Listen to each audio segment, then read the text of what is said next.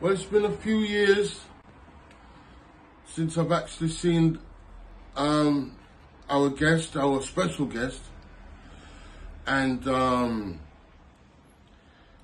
I have to say our special guest because we used to do a lot of shows together back in the day, and um, but for my first guest, we all know him. Coming in, Shanks. Coming in. We all know Shanks. There he is. Nanu Nanu. Nanu, Nanu. Right, coming up, Shanks. So, listen, Yes. we've got our next com- Who's, kid. I mean, who's that? Who well, you know, Do we trust him? yeah, we, we love him. I mean, Is he- is he- is he attractive when I no, find- No, no, no, Let me control. Um, he's a good guy. We haven't Yeah. seen for years. I've known him from way back, right? And um, I haven't seen him for years, like two or three years, obviously because of the COVID. Mm. So, um, coming in, Johnny. Where are you, mate? He's brought his best friend with him. Look at him. He's brilliant. Look, there you go. Hi guys. That's what we want to hear. Would you like me to sit here, Paul? Yes, please, sir.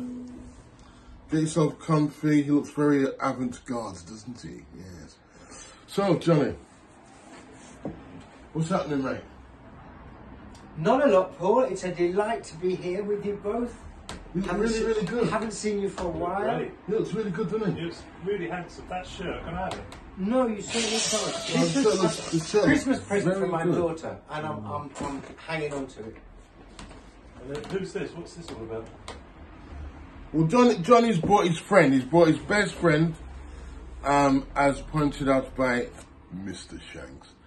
And um, go on, Johnny, tell us about it. So What- I guess what is it? I, I guess you're all fascinated by What do you this, do with this it? instrument, which is uh, a, a West African harp, and there is a number of traditional instruments um, which are based on this kind of shape and format. This is a modern version of something that was called the hunter's harp. Anyway, the name of it is a kamalengoni, meaning the young person's harp, the young man's harp. And being that I'm a young man, I thought it was appropriate. It's made of a calabash, which, for those of you who don't know, is like a big pumpkin and it's hollowed out. Fruit. It's got um, an animal skin here. It's got two strips of bamboo supporting it here.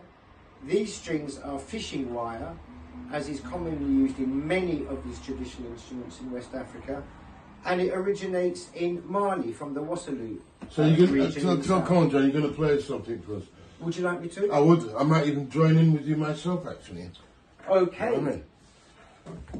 There you go. Come on, you start it off, Johnny. Okay, we're gonna do, we're gonna do something called banile. Ballet. One, two, three, four.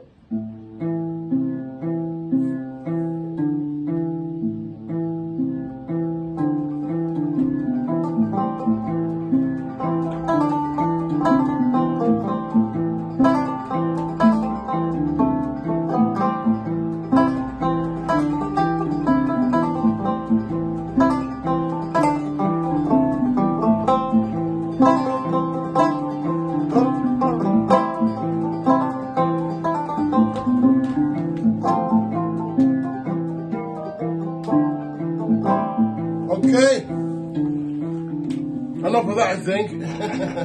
Nice. very, very nice. Nice. Where did you Um, when we used to do shows, sorry, sorry, Sorry. sorry um, sorry, carry. Where did you two meet? Oh God. We met in Willesden in the early to mid 80s at a friend's house. Um, Paul was just starting playing music. You used to play harmonica, you were learning guitar. I was toying with the trumpet in those days. Remember That's we used that right. little jam? That's right. Yeah, we just know each other from mutual friends. But Yeah, we used to, we used to, they used to, the mutual friends. considering it's back in the no 80s, names, it seems like a long time ago. But um, we would go out and we would, really? jam. It was like a jam session. You know, It would always be on a day like today, which is So Sunday. you- So you Lion, So you were you weren't playing banjo, obviously. Absolutely not. And you weren't playing. What were you playing? Just bass. I mean, then I was learning. Paul was learning. So he was just learning to play the bass. Just learning. Play the bass. And now look at him, he's gone on to become an accomplished multi instrumentalist. albums. Uh, Master Lion. Master Lion, ladies and gentlemen. Thank you.